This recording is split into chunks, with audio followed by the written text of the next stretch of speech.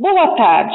Completou em 3 de junho 102 anos o Instituto Vital Brasil, que fica no Rio de Janeiro e hoje faz pesquisa também no tratamento do novo coronavírus. E nós temos aqui, Auricino, uma ligação com a Vital Brasil. Essa ligação vem da FUS Industrial, que cede as bolsas de sangue que são utilizadas para passar esse plasma que é retirado dos cavalos, dos animais, também para o ser humano. E eu vou conversar com Luiz Eduardo Ribeiro da Cunha. Ele é médico veterinário do Instituto Vital Brasil e já nos deu uma entrevista no ano passado sobre esse tratamento que estavam começando as pesquisas, para que a gente possa saber como andam essas pesquisas no Brasil.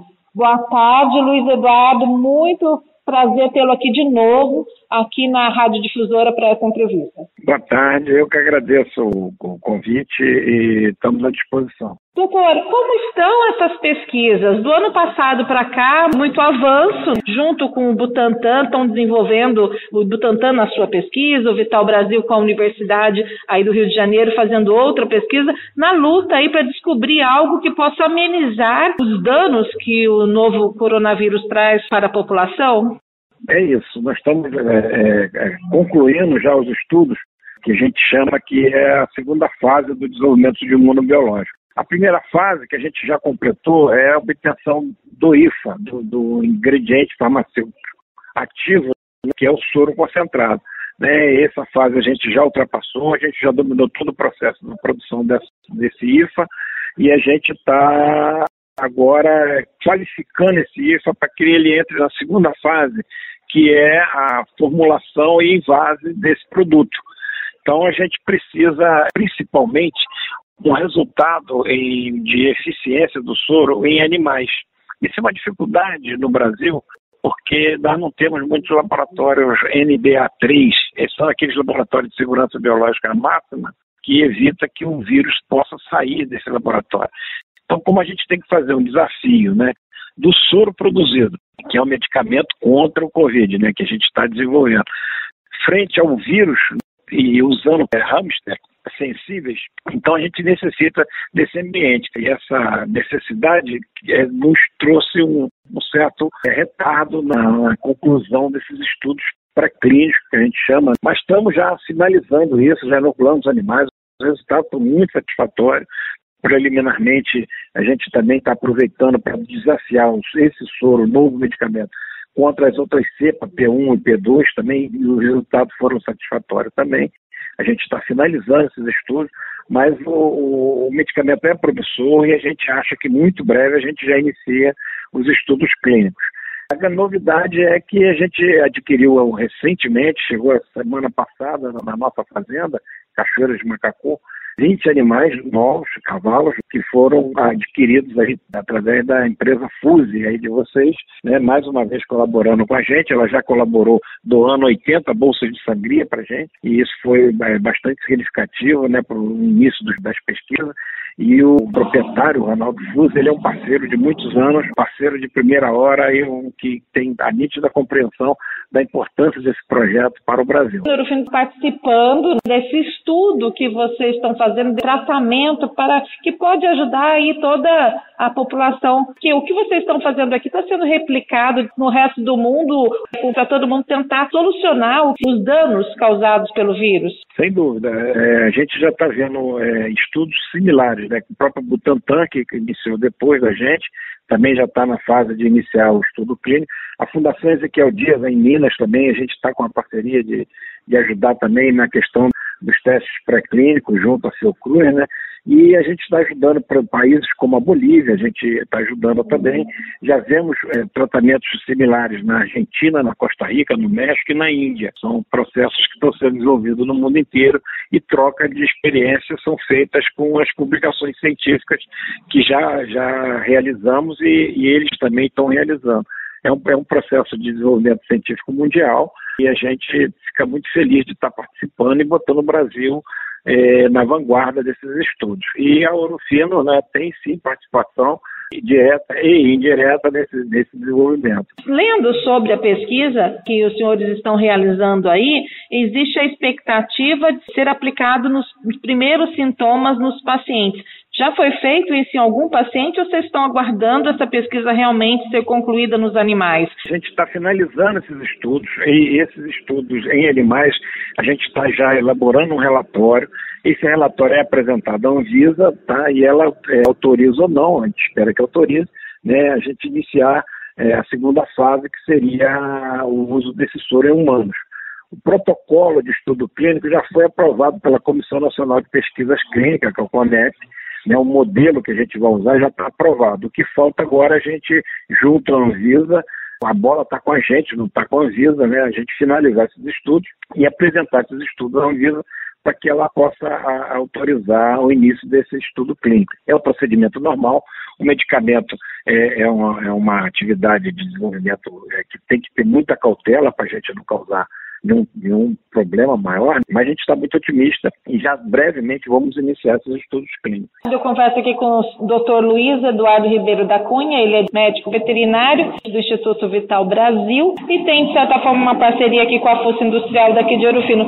Muito obrigada pela sua participação aqui de novo conosco aqui na Rádio Difusor e fique à vontade aí para as suas considerações finais, para falar sobre essa expectativa, sobre o desejo do senhor aí, sobre essa pesquisa que estão realizando. É, é é um prazer né, falar com vocês já pela segunda vez e estaremos à disposição assim que a gente tiver também novos resultados, a gente vai ter o prazer de comunicar pela rádio de vocês aí com grande satisfação. A parceria, como eu falei com a FUS, é antiga, é de sempre muito colaborativa e muito positiva. E a gente está muito satisfeito em poder estar é, tá desenvolvendo esse trabalho, que é um trabalho que a gente aposta que vai ajudar muito a, diminuir o sofrimento que a pandemia está causando, não só no Brasil, mas como no mundo. Eu agradeço a preocupação de vocês, a atenção que você sempre teve com a gente aqui no Vital Brasil e estamos à sua disposição, tá bom? Um abraço a todos. E agora eu converso com o sócio proprietário da Fuça Industrial, uma empresa aqui de Ouro Fino, que é o Ronaldo Luiz Fuss. Ronaldo, um prazer tê-lo aqui no Espaço Livre. Boa tarde. Boa tarde.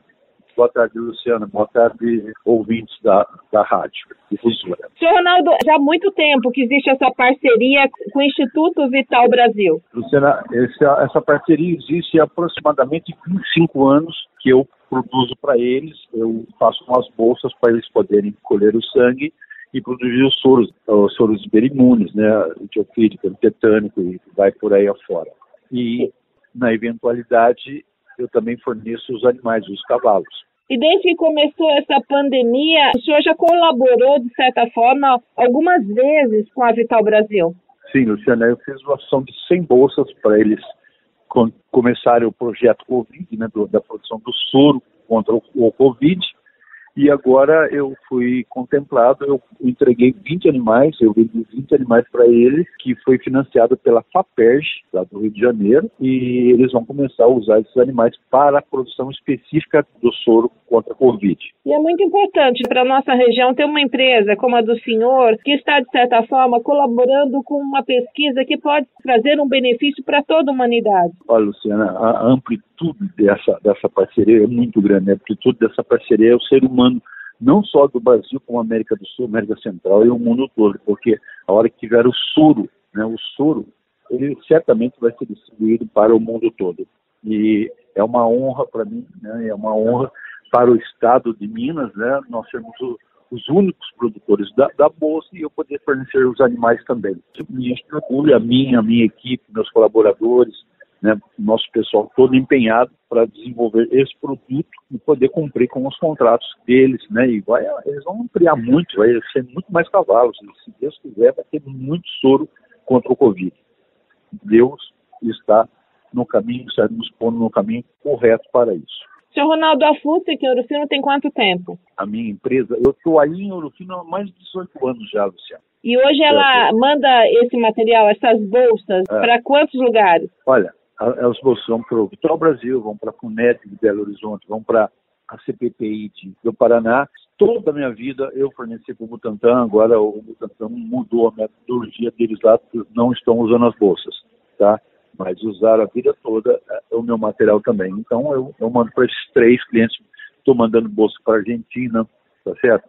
Outros tipos de bolsas também estão sendo exportados aqui para a América do Sul. Qual a quantidade desse material por mês? Olha, é, é, é, é difícil de falar, porque como Estado eles fazem uma programação quase que anual. Então, por mês, tirando o Butantan, eu, eu diria que eu vendo umas 6 mil bolsas para os restantes institutos que produzem os soros. É mais ou menos isso.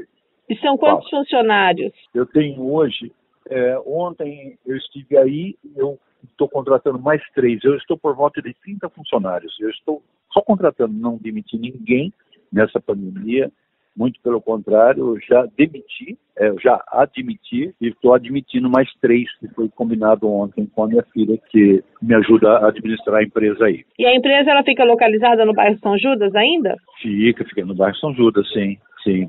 E nós estamos agora terminando uma área nova de invase de soluções que a gente pretende terceirizar esse invase para outros outras empresas, além de fazer o nosso próprio invase. Certinho, seu Ronaldo, muito obrigada pela sua participação aqui conosco no Espaço Livre da Rádio Difusora. Oh, aqui, disponha, estamos às ordens, tá bom? Fique com Deus, então, e muito obrigado pela oportunidade. E você continue na nossa programação agora com Vale Tudo, apresentação de Paulo Henrique. A todos uma excelente tarde e até amanhã, se Deus permitir.